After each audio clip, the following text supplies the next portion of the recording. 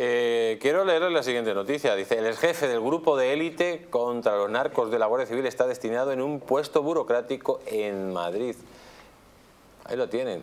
Señor Araujo, ¿cómo es posible un hombre, un teniente coronel, que es un auténtico héroe, porque ha dirigido ese grupo magistralmente, no solo le echan de malas formas, incluso le intentan implicar en, asuntos turbios, cuando él no está metido presuntamente en nada, y le ponen a hacer funciones burocráticas, cuando es un hombre de acción, que hay de los pocos hombres de acción que tiene la Guardia Civil y además exitosos.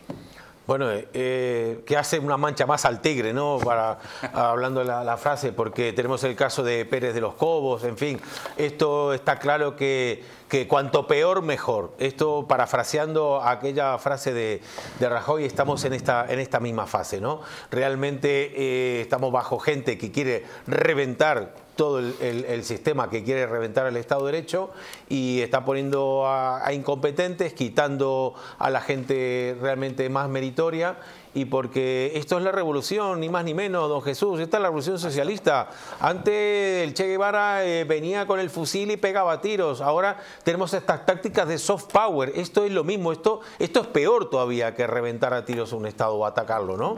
Esto lo están haciendo de esta manera completamente mezquina y, e indignante que, bueno, eh, podremos estar horas y horas hablando de, lamentablemente de este gobierno. Hasta, hasta 60 medallas tenía o tiene el teniente coronel por estos cuatro años de lucha contra, contra la droga. ¿no? Y lo, más grave de todo esto, lo más grave de todo esto es que eh, esta gente del gobierno se ampara y dice, no, es que estaban investigando al teniente coronel y no están investigando a todo el gobierno de Sánchez y, y no se van, siguen, siguen tocando las narices a España y a los españoles por esa regla de tres donde tendría que estar el gobierno de Sánchez.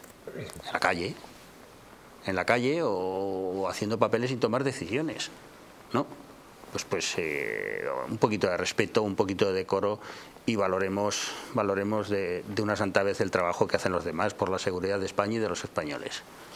Y yo, evidentemente, no quiero poner sobre, sobre mi dedo eh, a los mandos de la Guardia Civil, coroneles, generales, que también están ahí, prueba de ello que han cambiado hasta al, director general, perdón, al, general en Andalucía, han puesto al general Carmona, también otro brillante militar, pero, pero, claro, cada vez que eh, nuestros cuerpos y fuerzas de seguridad del Estado se juegan la vida, eh, detienen, al final hay una orden, y esa orden viene de arriba, y, el que le da la orden de arriba recibe esa orden. Y como siempre nos volvemos a encontrar con lo que antes yo decía. Y repito, lo mejor que tenemos, que son los nuestros, repito, que sois los nuestros, son nuestros cuerpos y fuerzas de seguridad del Estado. no los mardascones ni otros, no. No, nuestros cuerpos y fuerzas de seguridad del Estado. Los que estáis 24-7 velando por, nuestra seguridad. Los que estáis 24-7 jugándonos la vida. Y los que estáis 24-7, que también hay que decirlo, infiltrándos, infiltrándos directamente en las mafias. es que el tema, el tema ese que tú acabas de decir, Fernando, de las órdenes es muy importante, porque aquí en España